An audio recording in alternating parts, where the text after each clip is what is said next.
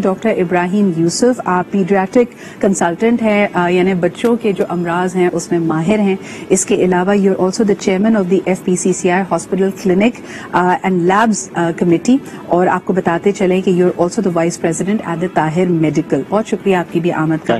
Doctor साहब अगर सबसे पहले आपसे ही गुफ्तगू का आगाज़ करूँ जो मेरा सवाल 2021 में अगर हम सब जानते हैं कि बेहतरीन गजा बच्चे के लिए माँ का दूध है लेकिन अगर माँ किसी भी वजह से ये ज़रूरत पूरी ना कर पा रही हो तो रदात की तरफ़ जाए या फॉर्मूला मिल्क की तरफ़ जाए? बहुत अच्छा टॉपिक आज का आज टीवी ने उठाया है स्पेशली आपकी टीम ने। और कल ये जब मुझे पता चला तो आई वॉज़ वेरी एंशियस कि ये बात करनी चाहिए क्योंकि इस पे इस मौजू पे लोग डिस्कस नहीं करते हैं क्योंकि ये एक अ, मसला बना लेते हैं लोग कि यार ये कौन सी भी और एक जो शर्म लिहाज इसमें कई पहलू आ जाते हैं ऑफ़ कोर्स अभी भी आप माओ को हमारी क्लिनिक्स में माओ की फीट पे डिस्कशन करें तो ऑफकोर्स इट्स थोड़ा सा अनईजी रहता है। तो स्टिल ये चीज़ आप लोगों के साथ डिस्कस करके और आवाम तक पहुँचाए सदका जा जारिया। पहले तो आपको बात बताऊँ कि एक बच्चा जो हमारे पास एज ए न्यूनेटोलॉजी क्योंकि मैं निक्यू का इंटेंसिव केयर स्पेशलिस्ट हूँ तो उसका बताऊँ कि एक छोटा बच्चा कितने दफ़ा मेरे साथ ये हादसे होते हैं कि एक बच्चा पैदा हुआ कहीं से शिफ्ट हुआ उसकी माँ का इंतकाल हो गया ड्यू टू सर्जरी या ड्यू टू एनी सिम्टम्स उसकी डेथ हो गई और बच्चा तना रह गया है और हमारे पास शिफ्ट हो गया। हमारे लिए मराइल दूसरे दिन, तीसरे दिन का मरहा मर्रा होता है कि इसको फ़ीड क्या किया जाए।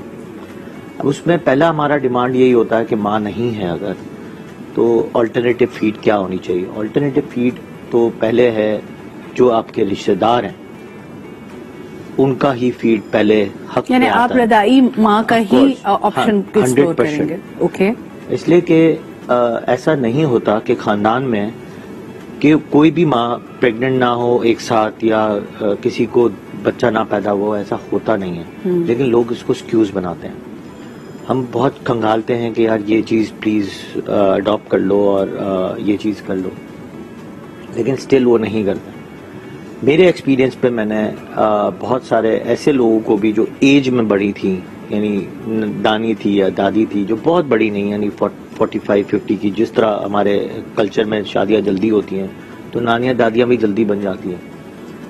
कई दफ़ा बैठ के काउंसलिंग करने से हमने और कुछ मेडिसिन देने से या बच्चे को सीने से लगाने से सकिंग करवाने से हमने उनको भी फ़ीड स्टार्ट कराया है।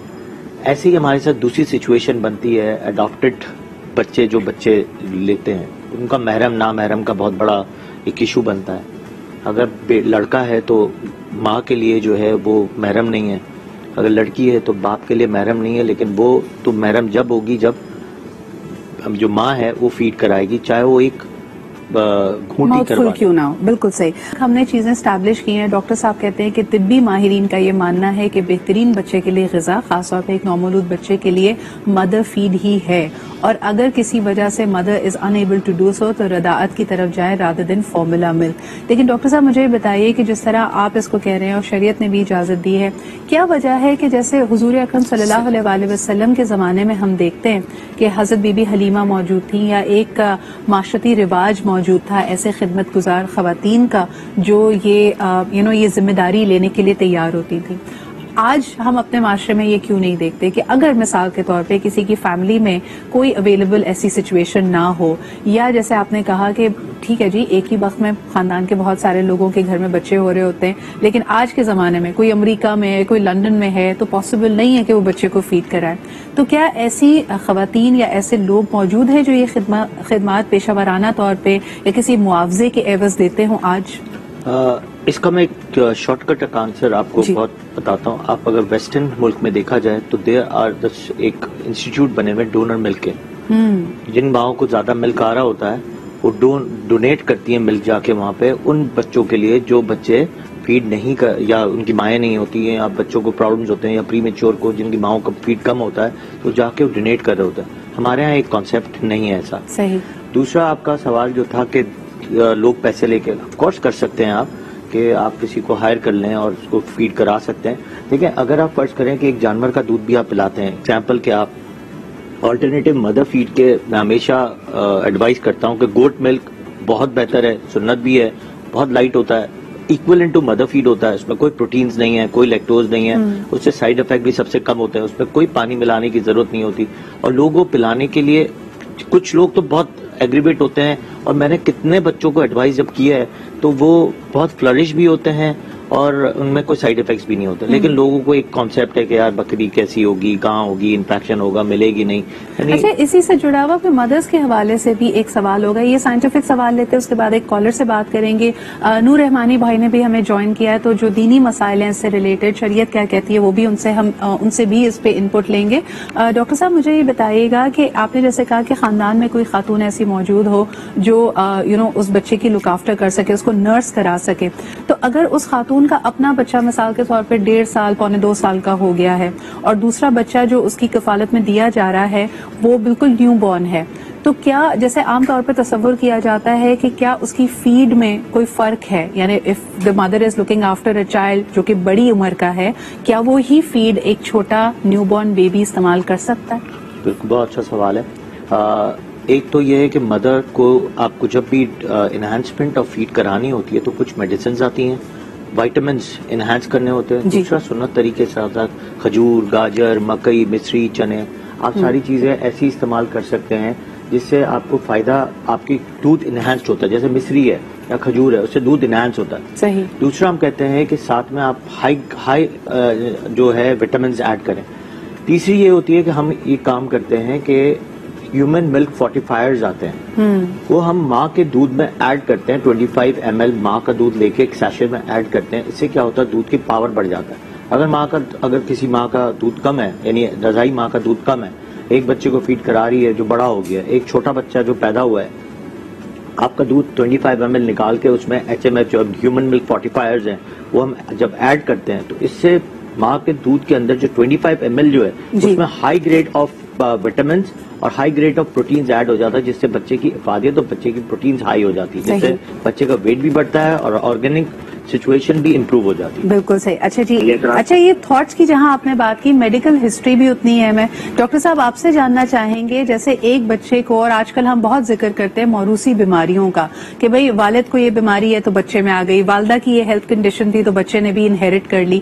खास तौर पे पूछना चाहेंगे कि जो रदाई माँ है और जो दूध पिला रही है अपना अगर लेटर ऑन उसकी कोई मेडिकल कॉम्प्लिकेशंस होती है मिसाल के तौर पर उसको डायबिटीज़ होती है या कैंसर होती है को हो जाता है खुदा न खास्ता तो जिन बच्चों को उसने दूध पिलाया है क्या इनकी सेहत पे भी आगे जाके कोई असर पड़ता है? आ, बहुत अच्छा सवाल है। और मेडिकली आप कहें तो अभी लेटेस्ट कोविड की बात थोड़ा सा बता देता हूँ कि कोविड मदर अगर माँ को कोविड हुआ हुआ है और उसको रिस्पायरेटरी के भी मसाइल चल रहे हैं तो उसे मास्क पहनना है और फ़ीड कराना है। चाहे उस बर्थ केनाल से पैदा हुआ हो या दो महीने बाद माँ को कोविड हुआ हो इसी तरह दूसरी बीमारियाँ हैं हेपेटाइटिस ए है हेपेटाइटिस बी है हेपेटाइटिस सी है जो और टीबी है। ये चार मर्ज ऐसे हैं जो हमारे मुल्क में बहुत ज़्यादा कॉमन है। उसमें भी हम माँ का फ़ीड मना नहीं करते हैं। चेक एंड बैलेंस ये होता है कि आपकी जो मेडिसिन लेने से पहले क्योंकि मेडिसिन कुछ जो मिल्क बैरियर्स को क्रॉस करती हैं इसके अलावा कोई चीज़ जो है वहाँ पे बैरियर को क्रॉस नहीं करती है। डायबिटीज़ माँ के दूध के अंदर नहीं जाता। कैंसरस हाँ एक ऐसी चीज़ है जो पूरी बॉडी में मेटासाइज हो जाता है।